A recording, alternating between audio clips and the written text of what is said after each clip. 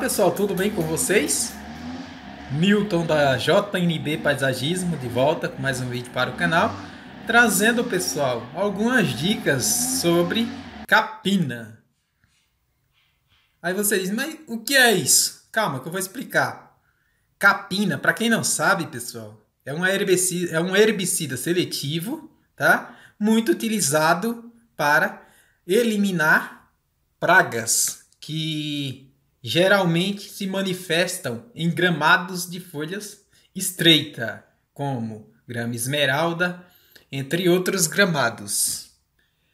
Pessoal, se você não sabe utilizar esse veneno a seu favor, então é melhor ou você procurar entender como que funciona ou você chamar um profissional, tá? Que faça isso. Porque se você utilizar ele da forma errada, você vai acabar danificando as suas plantas e não vai surtir nenhum tipo de efeito, tá bom? Essa é uma dica valiosa que você preste bastante atenção na hora de utilizar. Bom, pessoal, é o seguinte. É, como eu disse, o, o carpina ele combate as pragas invasoras de gramados de folha estreita, tá? Ele é um poderoso eliminador de ciperaceias, ou melhor dizendo, a, a, a famosa tiririca, né? É uma, é uma, uma ervinha que costuma empraguejar gramados, né? E se manifestar muito rápido, impossibilitando da, da sua é, extração manualmente. Quanto mais você tira, mais ela vem com rigor. Então, para você eliminar esse tipo de, de praga com eficiência e deixar seu gramado bonito, bacana. Bom, pessoal, tenho mais de 10 anos que eu trabalho com paisagismo. Esses 10 anos eu aprendi muito sobre como tá deixando um gramado su super show de bola. Seja utilizando seletivos ou manualmente a extração dessas pragas, tá? Mas quando você vê que você não dá conta extraindo elas manualmente, aí é, você tem que partir para um uso mais, digamos assim, que seja mais apropriado e que o resultado seja bem mais, né? Bem mais convincente. Bom, galera, é o seguinte. Eu vou passar aqui uma lista, tá? De gramados que você pode estar tá aplicando, ou seja, de gramados que são resistentes a esse tipo de veneno, tá? Porque não é todo toda grama, não é todo todo tipo de grama que você vai aplicar esse veneno, não. Então preste atenção aí nessas nessas dicas aqui. Então você é, deve aplicar o capina na grama batatais grama bermuda, grama esmeralda, grama preta, grama São Carlos e grama Santo Agostinho. Ok, pessoal? Esse, essas, essa lista que eu passei aqui, todos esses gramados são resistentes ao capina. Então tome cuidado, tá? Identifica aí qual é a espécie do seu gramado para você não acabar fazendo a coisa errada. Porque é, o capina, pessoal, ele é, como eu disse, ele é um herbicida seletivo, então ele funciona da seguinte maneira. Quando você aplica no gramado, no gramado, na verdade, você tem que aplicar diretamente na praga invasora, tá? Sem necessidade de você estar tá aplicando em todo o gramado, não há necessidade. Simplesmente você aplica diretamente na praga, molhando-a bem, tá?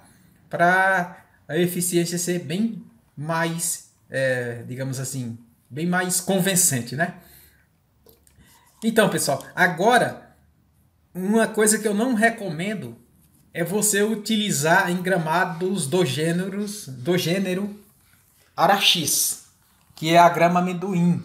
Por quê? Porque como o herbicida seletivo ele é uma planta para gramados de folha estreita, se caso é, o gramado onde você aplica, vai aplicar, não estiver na lista que eu passei aqui acima, tá? Então você pense direito, porque senão você vai acabar matando aí seu, seu gramado, tá? Então, ele não é recomendado para grama amendoim. De forma nenhuma você deve aplicar, ok? Já o modo, pessoal, de aplicação é, você vai pegar o, o, produto, geralmente você compra aí, vem no vidro de 100 ml. Então o conteúdo desse é, frasco, você vai diluir tá? o produto em um litro de água. Ok? Ou seja, 100 ml e um litro de água. Não precisa ser mais. Aí vai de você. Se você quiser diluir mais água, só que vai ficar um pouco fraco. Então acredito que ele não vai ser tão eficaz, tá? Então ele já vem pronto para um litro de água, 100 ml, tá? É 1,67 ml do mesmo por metro quadrado. Ou seja, é como eu disse, você não vai sair aplicando em todo o gramado, você só vai aplicar na praga invasora. Até porque você vai poupar veneno e não vai desperdiçar, tá? Agora uma observação que você deve prestar atenção. O produto precisa de no mínimo duas horas sem chuva, tá? Ou sem irrigação. Agora, depois da aplicação, você aguarda 24 horas, tá? Para fazer o corte do gramado. Ou seja, aqui você é, aplica o veneno no gramado grande que, que o, o mato está invadindo. Então você aplica o veneno sem cortar o gramado. Depois de 24 horas, aí você efetua o corte, ok? Porque esse, esse período de tempo aí já é o suficiente para o remédio surtir efeito. Então, quando você aplica e depois você corta, ele ainda vai continuar agindo aí, impedindo que as pragas saiam novamente, tá bom? Bom, eu espero que todos tenham entendido essas dicas que eu, eu acabei passando aqui. Se você não entende de, de herbicidas seletivos, tá? Se você quiser deixar um comentário aí, é, eu tô aqui para tirar suas dúvidas. Enfim, pessoal, a única coisa que eu peço é que vocês se inscrevam aí no canal, compartilhe o vídeo aí com os amigos para fazer o canal aí, né, fortalecer o mesmo e no, deixando um like aí, pessoal, para nos manter sempre na lista dos recomendados do YouTube, ok? Porque isso é muito importante, tá bom? E a galera que chega agora no canal, Seja muito bem-vindo. Não esquece aí também de se inscrever, deixar as notificações ativadas para não perder nenhum vídeo novo, tá pessoal? Bom, eu espero que todo mundo tenha entendido aqui as dicas e se ficou alguma dúvida, deixa aí nos comentários que eu volto a falar sobre, tá bom? Então pessoal, até o próximo vídeo.